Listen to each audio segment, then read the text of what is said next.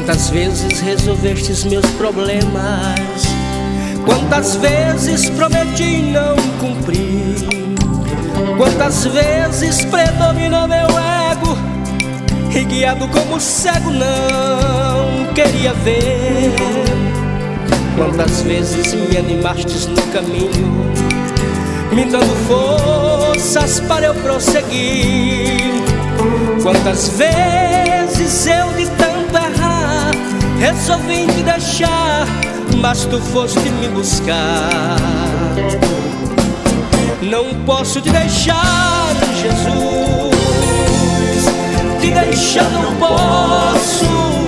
Eita, Jesus maravilhoso, Jesus maravilhoso. Bom dia, povo de Deus, bom dia, boa quinta-feira para você, dia 25 de janeiro, amor, já é dia 25. Bom dia, é, minha neguinha. Sim, bom dia, bom dia, meu pastor, bom dia, meu amor. Amor, já é dia 25. É sim. Meu Deus do Nós céu. Nós estamos no janeiro profético. É, o, o culto de ontem, irmãos, o culto foi tremendo, foi não? Foi sim. Muito Tanto animado. Quem assistiu, quem é de vocês aí que assistiu o culto ontem, que participou mesmo que à distância, viu a alegria dos irmãos ontem no culto abençoado que nós tivemos ontem na igreja Pão da Vida sede. Até domingo, viu, pastor? Olha, quarta, ontem, quinta. hoje, quinta, sexta, sábado, sábado e, domingo. e domingo. Cinco cultos, um por dia, no janeiro profético, para abençoar todo o seu ano. Você acompanha no canal Igreja Pão da Vida Mossoró. E nós queremos pedir para você se inscrever aqui no canal, dar o seu like e compartilhar. Não é isso, amor? É sim. Hoje nós vamos falar sobre Jesus. É bom, é, bom, é bom falar dele, né, amor? Maravilhoso. Fora também o que está acontecendo na nossa igreja, que até sábado, né? É. Encerrando também no domingo. Sim, até sábado nós temos também a EBF, Escola Bíblica de Férias, com mais de 90 crianças, Pão uma bênção de Deus. É a bênção.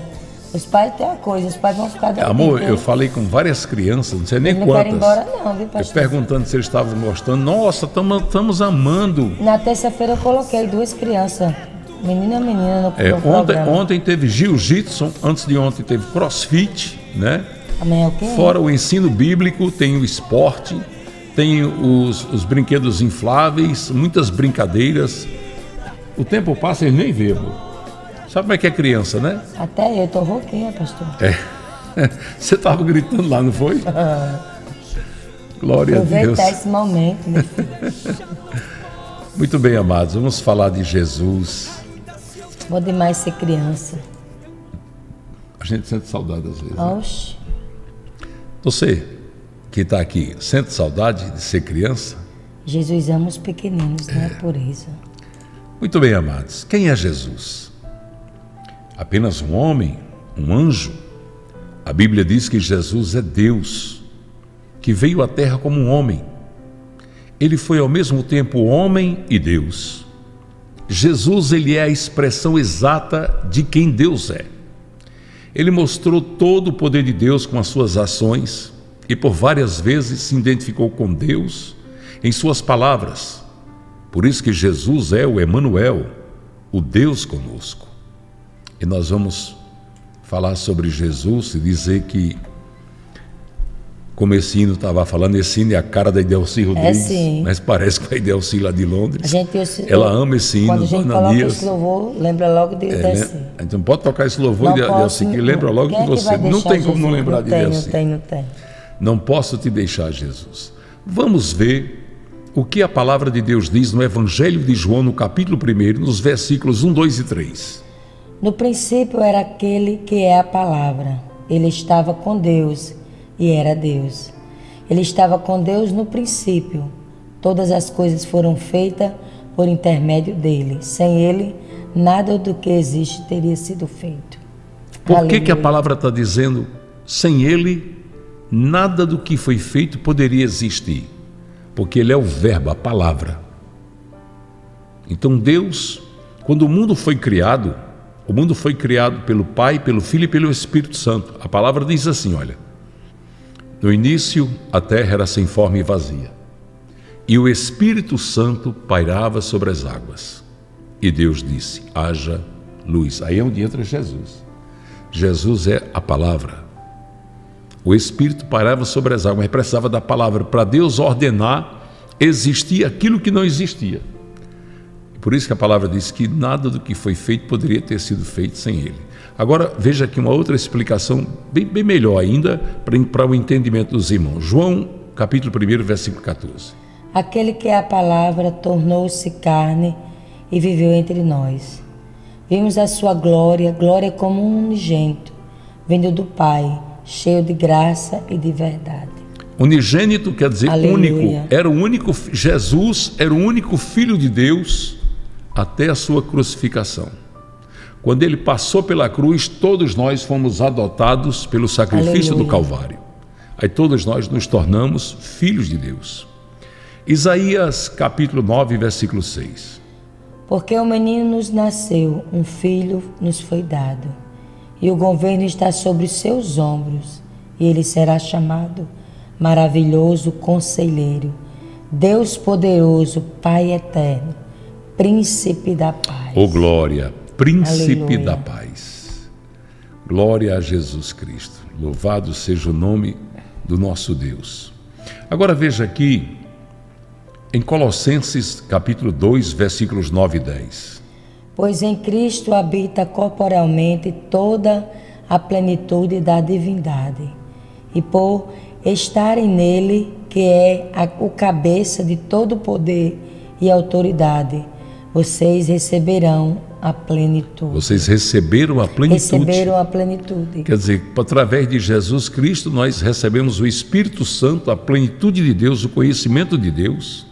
Que coisa maravilhosa. Veja aqui Moisés falando com Deus, né? Naquele momento em que ele questiona Deus: Eu vou para o Egito resgatar teu povo?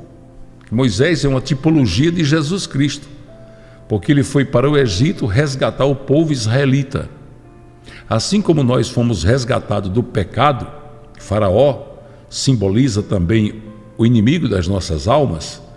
Então Moisés foi lá tirar aqueles cativos. Por exemplo, Deus me arrancou do cativeiro do pecado. Certamente você também, né? Todos nós. E Moisés representa isso. Então, quando Moisés perguntou, eu vou, eu vou chegar lá sem nada assim, vou.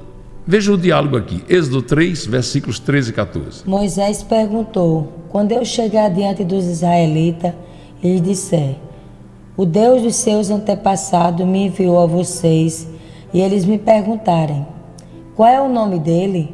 Que lhes direi? Disse Deus a Moisés: Eu sou o que sou. Aleluia. É isto que você dirá aos israelitas: Eu sou, me enviou a vocês. O eu sou me enviou a vocês.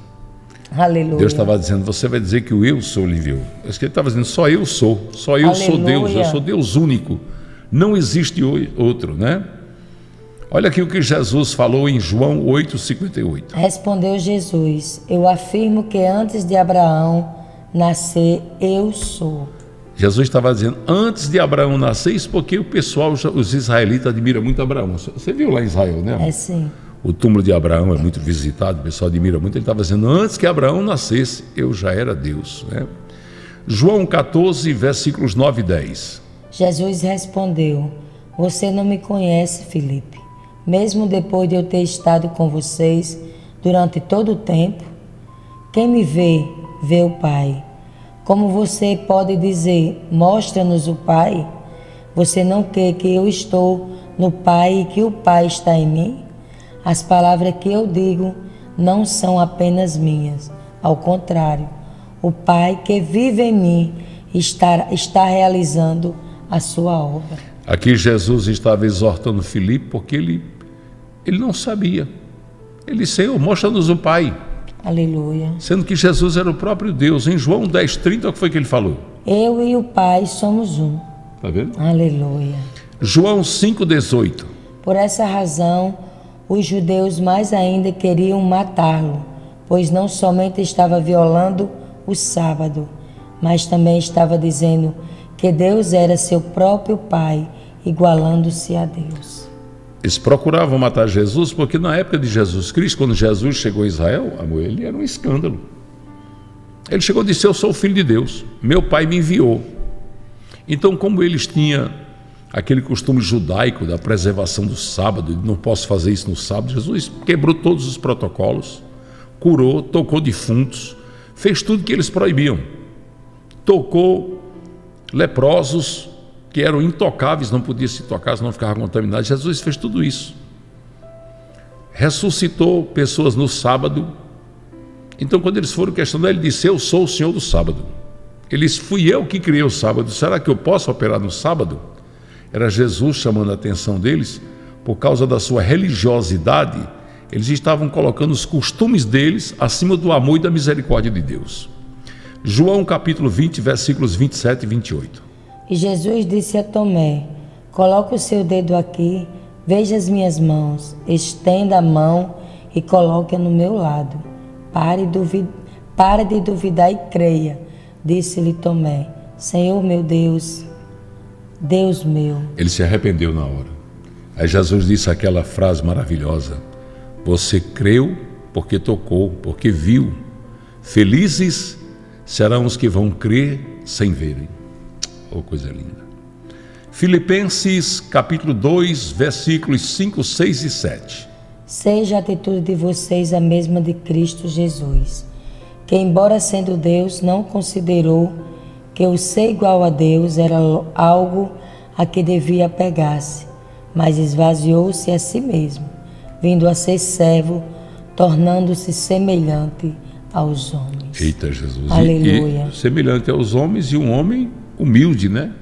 Que Jesus foi para a cruz do Calvário, morreu daquela maneira que nós conhecemos, que a Aleluia. palavra de Deus mostra.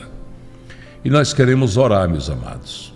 Orar, pedir a Deus que abençoe nossas famílias, que guarde a todos debaixo da sua santa proteção. Queremos orar para dizer a Deus que nós o amamos, que nós temos uma gratidão muito grande porque Deus nos resgatou quando ninguém mais daria nada por cada um de nós. Por isso que nós amamos tanto o nosso Deus. Vamos orar. Ore comigo e com a pastora Jossanete agora, igreja. Aleluia. Vamos orar. Vamos dizer, Pai Santo, Deus amado, Deus Sim, querido. Deus.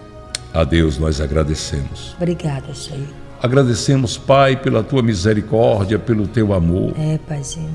Senhor, pelo teu olhar cheio de compaixão que olha as nossas fraquezas e não nos julga por isso. Pai, obrigado. Obrigado pela tua mão sempre estendida. Sim, obrigado por ver, Senhor, que nós necessitamos da tua presença. É, Precisamos, Deus, da tua mão forte a nos segurar. Sim, pai.